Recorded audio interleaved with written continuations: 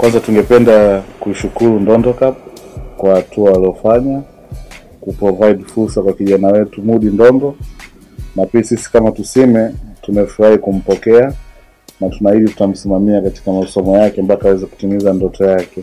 Kutokana na umri wa Mudi ataanzia darasa hili ili tuweze kumwandaa na mambo ya msingi ya kuweza kusoma, kuandika na kuhesabu.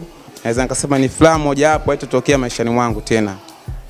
Nashukuru uongozi wa Clouds Ningeomba kwamba kuanzia kesho aje amekata nywele zake ili awe na mkao kama mwanafunzi.